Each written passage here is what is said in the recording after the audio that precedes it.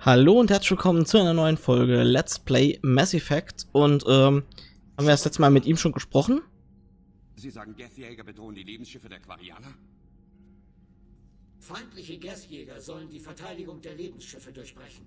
Ihre Staffeln sind über einen Server auf Runoch vernetzt. Wenn die Lebensschiffe beschädigt werden, verlieren die Schöpfer Waffen, Vorräte, Leben. Also zerstören wir den Server? Nein, dann würden die Guest-Programme auf andere Server. Okay, das kennen wir irgendwo schon. Oh, ich glaube, wir haben wirklich schon mit ihm gesprochen. Dann gibt es bestimmt hier neue X-Aktivposten. Ne, da gibt's nichts Neues. Ich dachte, wer jetzt so geblinkt hat. Jetzt blinkt's auch nicht mehr. Da haben wir auch bestimmt mit ihr schon gesprochen. Ähm, ja. Gibt's nichts Neues. Tali, Shepard. Auch nichts Neues. So. Dann sind wir, glaube ich, hier soweit fertig. Aber wir gehen noch einmal rund ums Schiff. Das haben wir, glaube ich, noch nicht gemacht, denn sonst wären wir ja hier schon ähm, aus dem Raum draußen gewesen.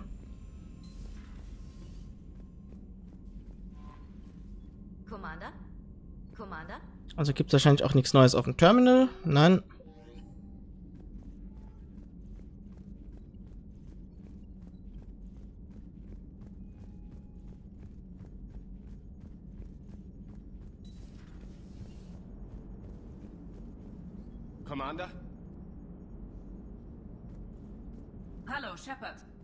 So. Ich glaube, das sind wir endlich schnell fertig mit den Crew-Gesprächen, wie es mir gerade vorkommt.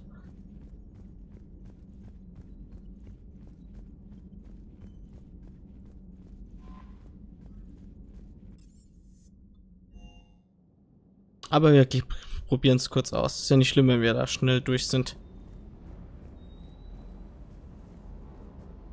Sir. Haben wir, haben die, Crew, die Crew-Gespräche wirklich... Ich glaube, die haben wir doch schon geführt. Ich glaube, wir haben... Ich glaube, ich erinnere mich, dass wir... Äh, ähm...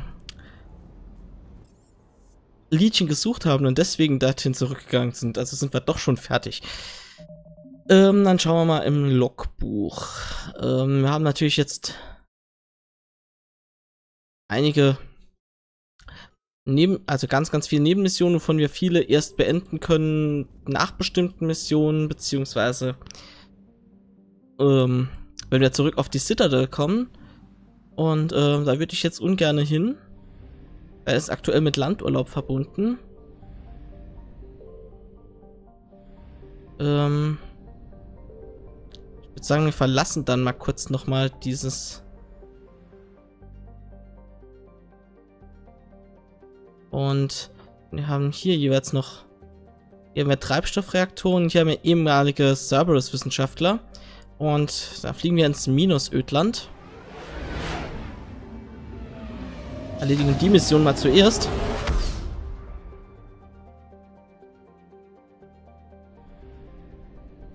Hier haben wir 100% der Aktivposten. Ah, hat sich nichts geändert. Also wir brauchen hier nicht mehr zu scannen. Wir haben einfach nur eine Mission hinzubekommen auf Galax.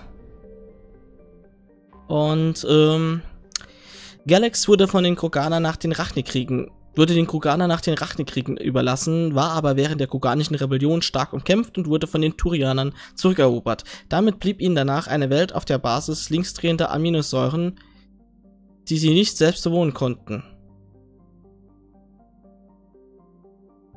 Ähm, aber auch nicht aufgeben wollten. In Zusammenarbeit mit, den, äh, Wohlbrett, mit dem Wohlprotektorat versuchten die Turianer, den Planeten zur Koloni Kolonisierung zu vermieten. Aufgrund des hohen Preises und der zahlreichen nicht hochgegangenen Sprengkörper auf der Oberfläche siedelten sich aber nur wenige auf Galax an.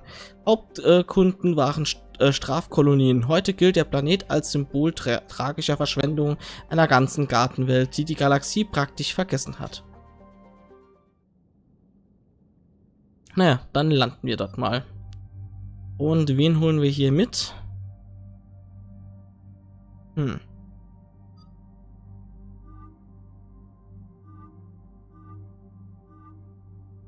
Holen wir mal Tali mit. Und Hm.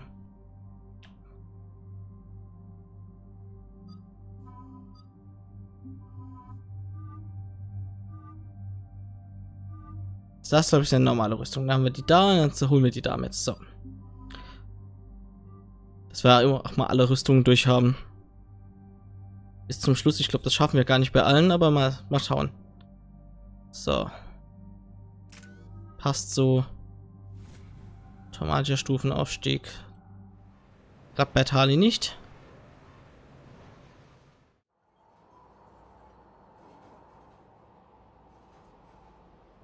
Wie sieht's aus? Wie lange sitzen die Wissenschaftler hier schon fest? Steht nicht im Missionsauftrag. Sir, ich empfange Funkverkehr von Cerberus-Männern, die das Depot angreifen.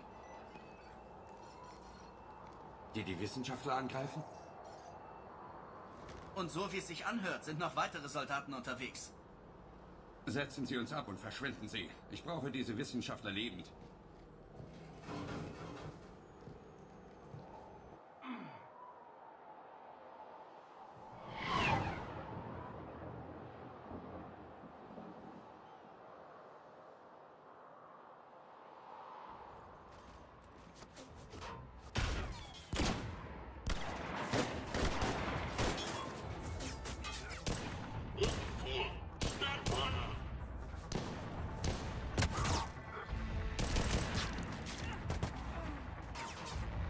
Jacob.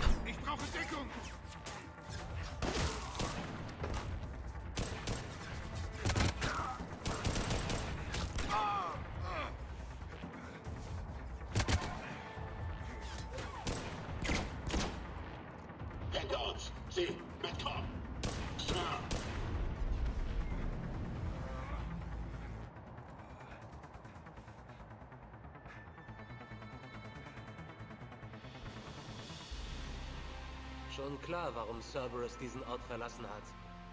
Es ist eiskalt. Schon gut. Bleiben Sie einfach in Bewegung. Was haben diese Leute getan, um so eine Aktion zu rechtfertigen?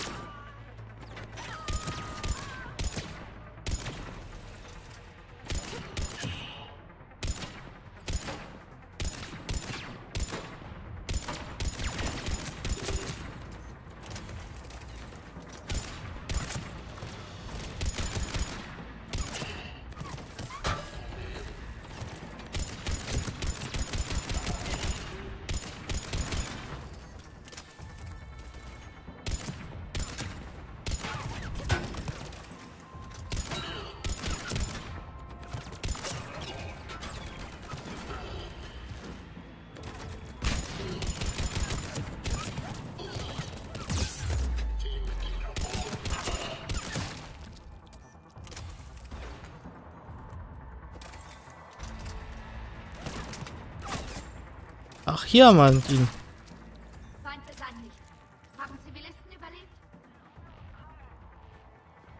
So.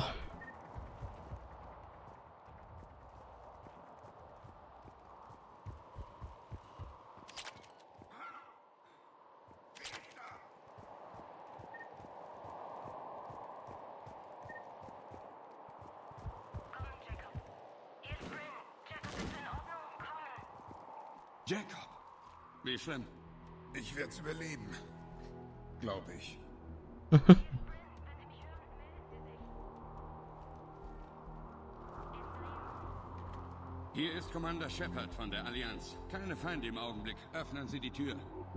Ist Jacob da? Es ist okay, Bryn.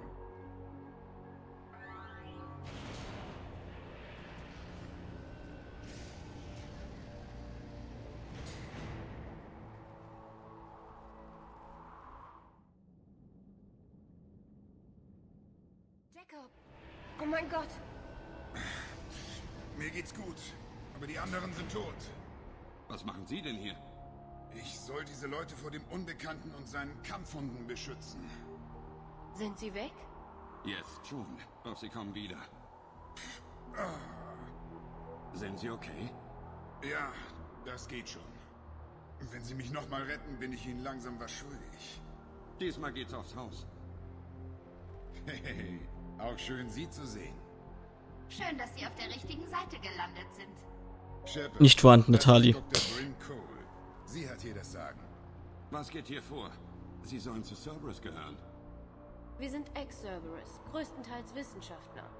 Zivilisten? Sagen wir Flüchtlinge. Wären wir nicht weggelaufen, wären wir jetzt tot. Warum will der Unbekannte sie töten? Unsere Geschichten haben in etwa dasselbe Thema. Wir haben mit Daten von der Kollektorenbasis an diversen Komponenten einer höheren Technologie gearbeitet. Sobald jemand mit seiner Komponente fertig war, ist er verschwunden. Keine Leiche. Nur verschwunden.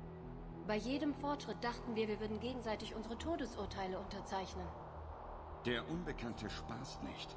Was er nicht kontrollieren kann, vernichtet er. Dieser Brain Trust muss ein herber Verlust für ihn sein. War doch klar, dass man sie finden würde. Wir sind eine ziemlich schlaue Gruppe. Wir hatten uns abgesichert. Aber der Unbekannte ist ein beharrlicher Mistkerl. Jetzt evakuieren! Ja, ich muss nur die Flugabwehrgeschütze auf dem Dach wieder online kriegen. Cerberus stört sie. Ohne diese Geschütze bläst Cerberus unsere Rettungsshuttles einfach vom Himmel. Könnte am Netzwerklink liegen. Ich check das. Wir treffen uns oben. Jemand sollte sich diese Wunde ansehen, Jacko. Ja, ja, das wird schon. Ich muss nach meinen Leuten sehen, Commander. Kommen Sie rauf, sobald Sie können. Ja, Sie kennen diesen Jacob? War der auch bei Cerberus?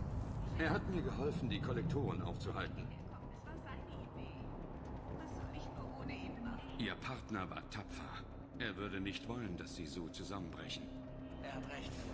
Wir bringen sie lebend hier raus. Das verspreche ich. so. Und weiter geht's.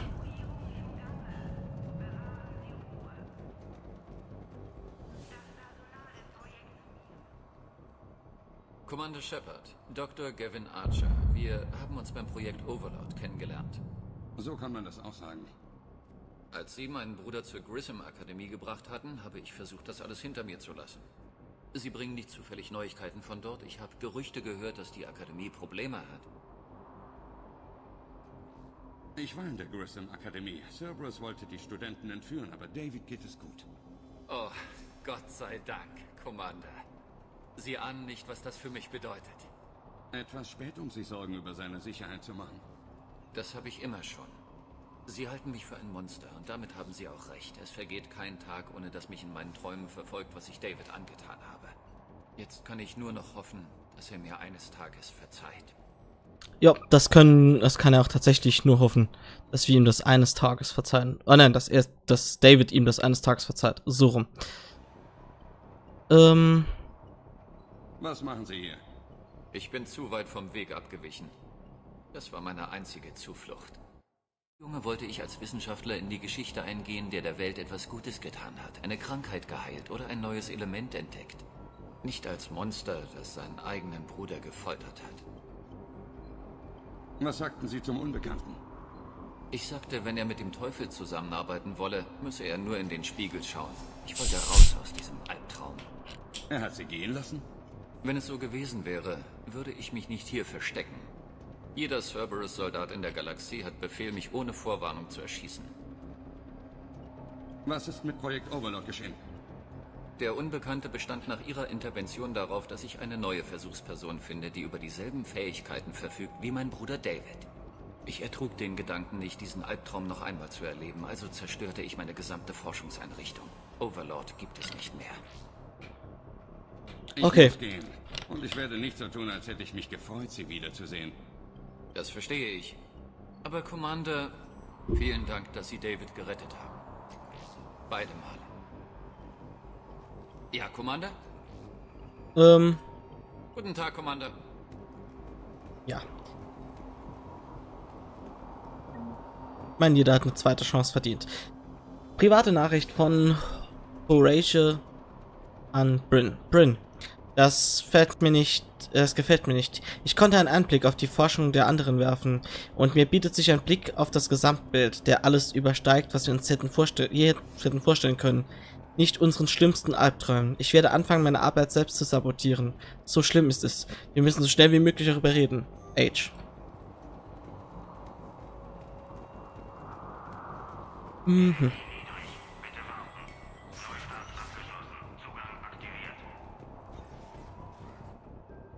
Äh, nee, brauchen wir aktuell nichts.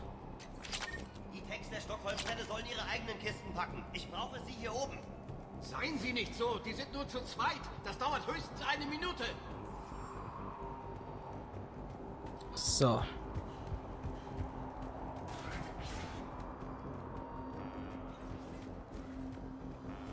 Die Proben vom Projekt Mia müssen mit dem zweiten Shuttle rausgehen. Ich habe schon eine Kiste fallen lassen, weil meine Hände so stark gezittert haben. Wir werden es schaffen. Wie ist der Status der Geschütze? Ist noch nicht so weit. Meine besten Leute arbeiten daran. Wie viele Wissenschaftler sind hier? 43 plus Forschungsassistenten. Wie haben Sie so viele Leute unbemerkt rausgebracht? Wer um sein Leben fürchtet, ist zu vielem imstande. Bryn, ich kann die Komponenten für die genetische Verstärkung unmöglich rechtzeitig abbauen. Tut mir leid, Doktor. Die Arbeit ist wichtig, aber Sie müssen sich um Ihre Familie kümmern. Moment, hier gibt's Familien? Kinder? Sie machen wohl Witze. Die haben also ihre Angehörigen mitgebracht? Ja, wir haben hier 17 Kinder. Partner, Ehepaare, Eltern. Ich habe diesen Leuten eine Zuflucht versprochen. Ein neues Leben ohne Cerberus. Ich hatte nur nie gedacht, dass der Unbekannte... Darauf baut das Böse, dass die Guten sich's nicht vorstellen können. Okay, alle, die noch da sind, kommen hier lebend raus. Mm, es steht viel auf dem Spiel. Diese Flucht muss präzise durchgeführt werden. Ich hatte gehofft. Wir haben alles versucht, um das hier zu vermeiden. Wie sieht's aus? Weiß nicht. Von hier kann ich's nicht reparieren. Ich gehe aufs Dach. Da ist gerade ein Cerberus-Shuttle gelandet. Sind Sie dabei? Aber Logo. Sie sind verletzt, Jacob. Ich kümmere mich um die Geschütze. Niemals. Das sind meine Leute. Ich gehe. Nach einer geglückten Selbstmordmission kriegen Sie nicht gleich eine zweite. Okay, ich lotse Sie von hier aus durch. Cerberus stört wahrscheinlich den Satellitenlink. Sagen Sie, wenn Sie die Steuerung gefunden haben, dann gebe ich Ihnen den Code. Alles klar.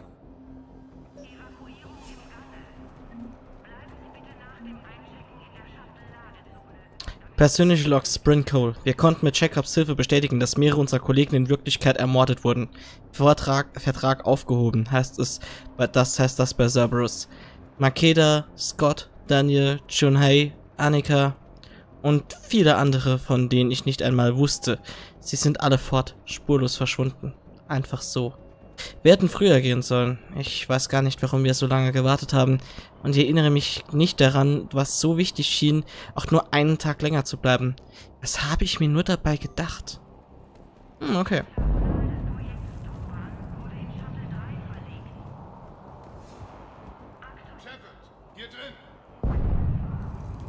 Okay.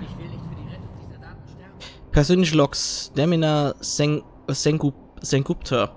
Wir versuchen herauszufinden, wofür das Endprodukt unserer Forschung eigentlich gedacht war. Es ist zwar offensichtlich, dass das Übertragungssystem neurologische Anwendungen bei Implantaten erfüllen sollte, aber viele Fragen sind nach wie vor unbeantwortet. Insbesondere der Verlust von D Dr. Horatio Armstrong behindert unseren, unsere Bemühungen die Ziele des Unbekannten zu rekonstruieren. Wir haben mehrere Teile eines Ganzen, die beängstigende Schlussfolgerungen nahelegen, aber wir sind weit davon entfernt, das Ganze genau erfassen zu können. Und das macht mir am meisten Angst. Ich mach das schon. Ich säubere alles und treffe sie dann in der Shuttlebucht. Ich will nicht sterben. Gehen Sie. Gehen Sie einfach. Nein, nein.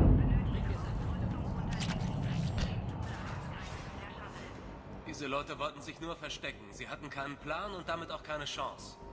Diese Wissenschaftler waren zu dumm für Cerberus zu arbeiten. Ich glaube, hier geht's nachher hoch. Falls nicht, speichern wir hier gerade mal kurz ab. Schauen uns das Ganze einmal nochmal an.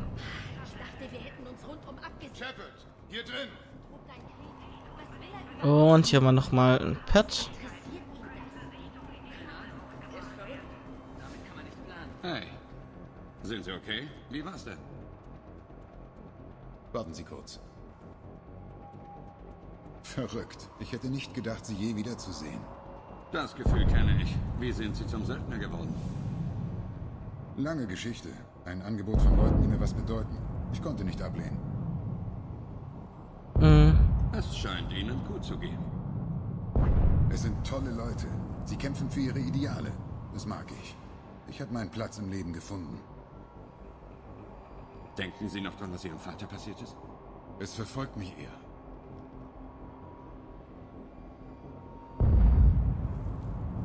Wie lange kennen Sie Brent? Wir trafen uns über einen gemeinsamen Freund in der Mumbai-Zelle. Ist ein Jahr her. Hatten viel gemeinsam. Dann kam sie wegen ihrer vermissten Kollegen zu mir. Wollte meinen Schutz, meine Hilfe, eine Zuflucht finden. Konnte ich Nein sagen? Was ist sie für Sie? Wir sind zusammen. Sie leiten zusammen diese Enklave. Werden Sie sesshaft, Jacob? Ja, vielleicht. Es ist nur... Wenn das unsere letzten Tage sind, möchte ich bis zum Schluss diese Leute beschützen. Ein Leben aufbauen, was immer davon übrig ist. Was ist passiert, Jacob? Warum arbeiten Sie an einem Ort wie diesem? Nach unserer Rückkehr... Naja, wenn man eine Selbstmordmission überlebt, sieht vieles anders aus. Ich habe Cerberus verlassen, alles aufgegeben und war eine Weile am Mittelmeer. Hab sie aus den Augen verloren. Und was haben Sie beim Meditieren an der frischen Luft gelernt? Dass ich nur für Dinge kämpfen sollte, die mir etwas bedeuten, die mir am Herzen liegen. Wir könnten Sie brauchen. Verlockend, Shepard, aber es gefällt mir, wo ich bin. Ich bin wichtig für diese Leute. Ich will ein Leben. Ich will eine Familie. Alles klar, verstehe schon. Nein, Shepard, die Normandy ist ihre wahre Liebe. Manchmal möchte ich Sie schon gern zum Teufel schicken. Nein, das können Sie nicht. Gibt's was über Cerberus, das ich wissen sollte? Der Unbekannte war besessen von der Indoktrination. Das ist klar. Haben Sie sich je gefragt, was da schief ging? War ich so blind? Ich hielt ihn für einen Idealisten. Warum konnte ich das Böse nicht sehen? Werfen Sie sich nichts vor. Und wenn Sie die Kristallkugel zum Laufen bringen, sagen Sie Bescheid. Ich möchte gern wissen, wie es hier ausgeht. Mach ich. Was ich tun muss, ist, die Leute hier rauszubringen. Stimmt. Gehen wir es an. Ah, okay. Dann war es also tatsächlich der Weg raus und, ähm... Sagt, dass alles in Ordnung kommt, glaube ich. Aber meine Tochter, sie ist noch ein Baby.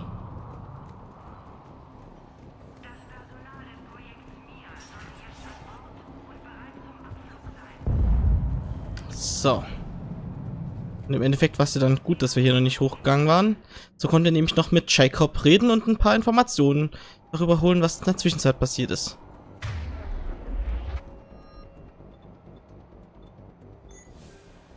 So. Ob es die Waffe wert ist. Nö. Ist es nicht. Weder in der Kapazität noch im Schaden.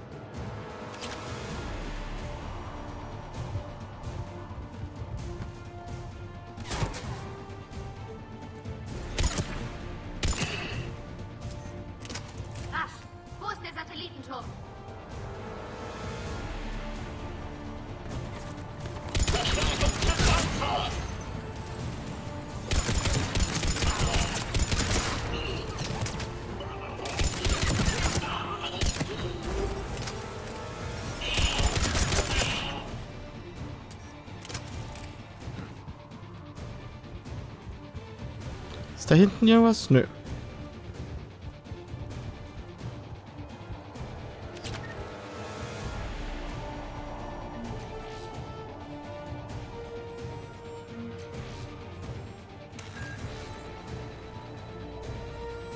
Jacob, die Schüssel müsste jetzt wieder online sein.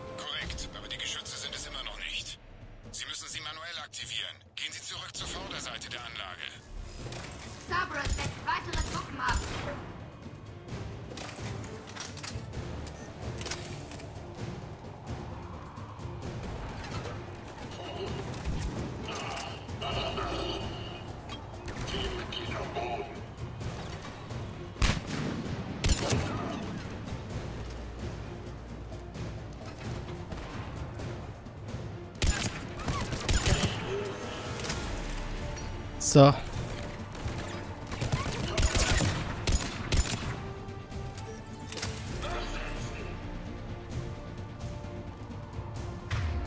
Hm.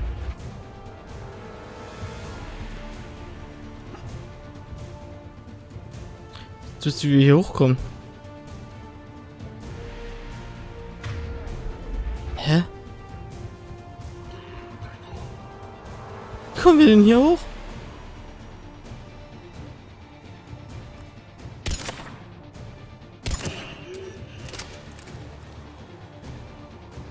Ernst gemeinte Frage. Jetzt blind? Ah.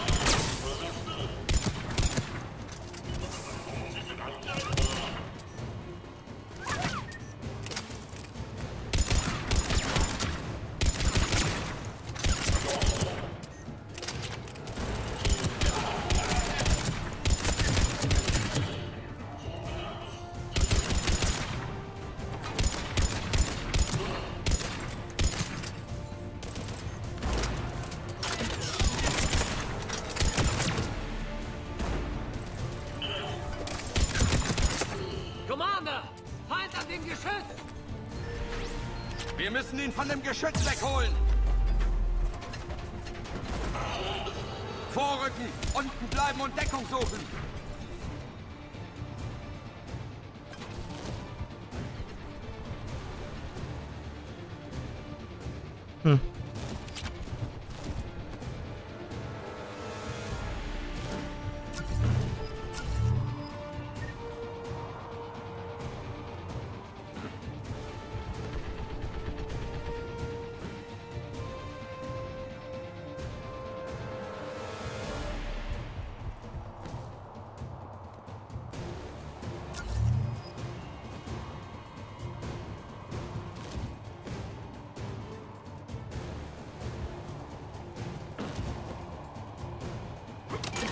Wir müssen darauf und die Flugabwehrgeschütze manuell aktivieren.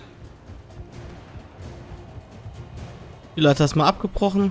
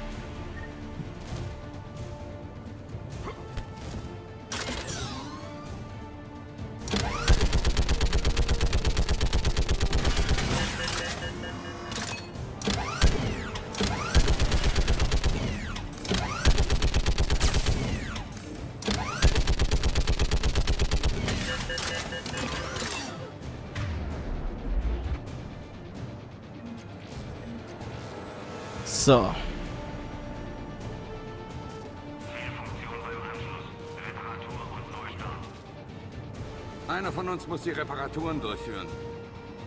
Ähm, natürlich kann das Tali am besten. Sie reparieren. Klar. Bereit, Kaidan? Nur Sie und ich. Nur her damit.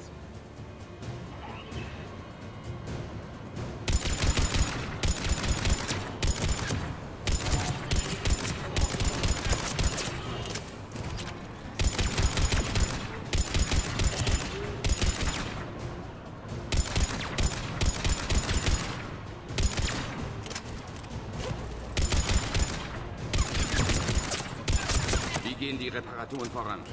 Ich arbeite so schnell ich kann.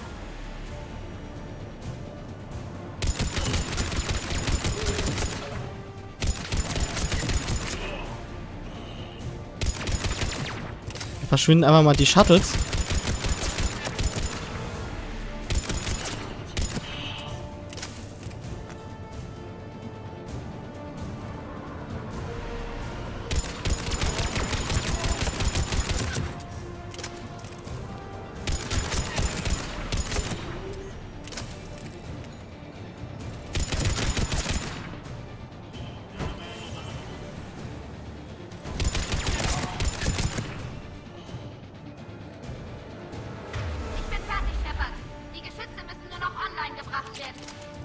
Klar, wird gemacht.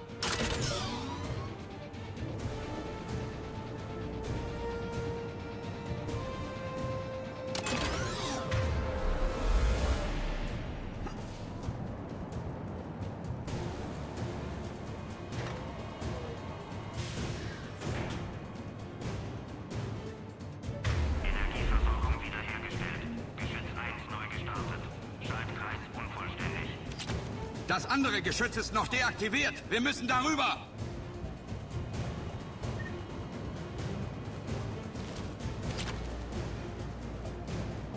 So, jetzt aber.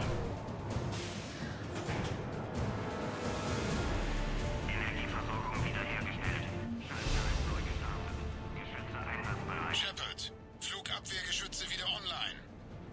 Verstanden. Bringen wir diese Leute hier raus.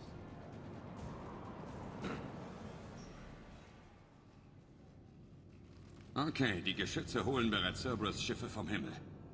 Wie stehen wir? Alles im Plan. Im ersten Shuttle sitzen bereits alle unter 16 Jahren. Commander, wann sollen wir hier weg? Wann haben wir die besten Überlebenschancen? Jacob, was meinen Sie? Sind wir bereit? Fast. Wir könnten weg. Aber es gibt keinen zweiten Durchgang. Richtig, wir haben einen Versuch. Und wir wollen nichts zurücklassen, das dem Unbekannten irgendwie nützlich sein könnte. Sie entscheiden. Ähm, Warten Sie auf mein Signal. Beginnen Sie mit der Evakuierung am Befehlsterminal. Verstanden.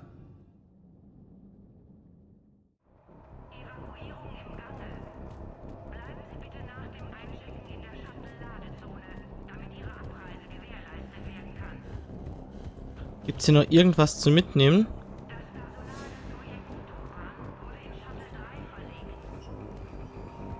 Hier nicht mehr?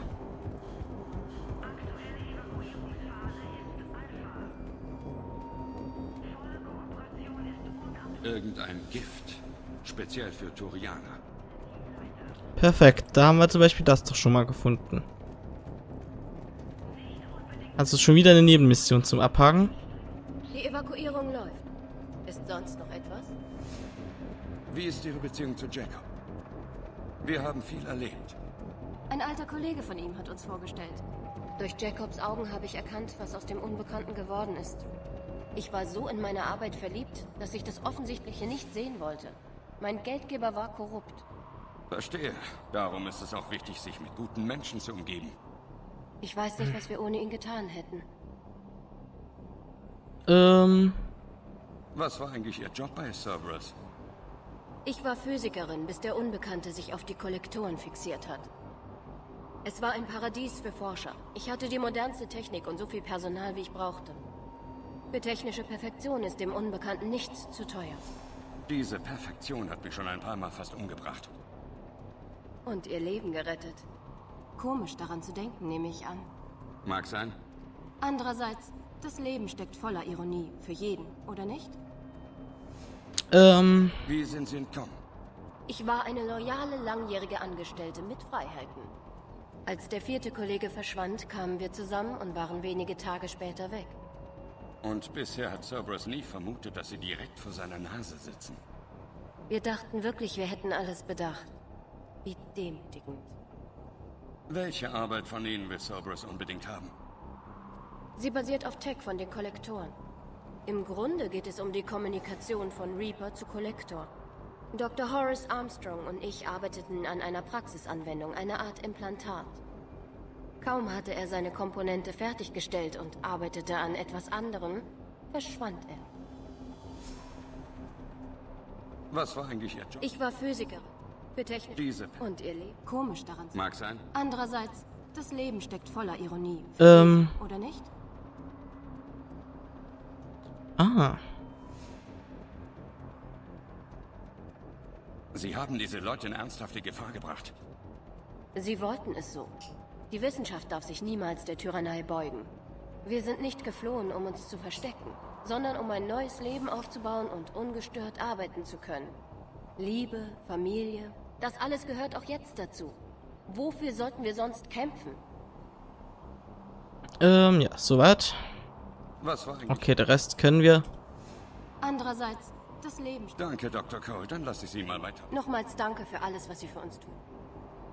Äh, ich schaue noch einmal im unteren Stockwerk nach, dann sind wir auch soweit fertig und können mit der Evakuierung hier beginnen.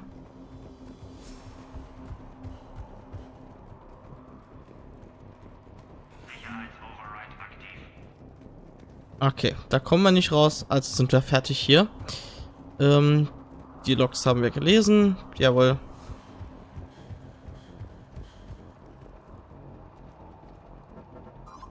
Evakuierung eingeleitet. Evakuierung eingeleitet. Bereithalten für Shuttle-Start. Schießen Sie ein Loch und dann starten Sie Shuttle 1.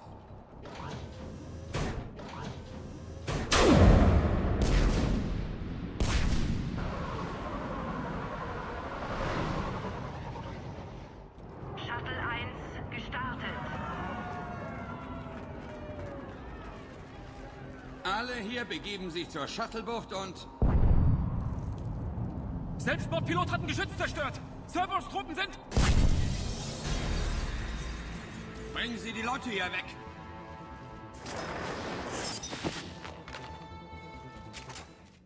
Okay, wir sind doch nicht fertig hier.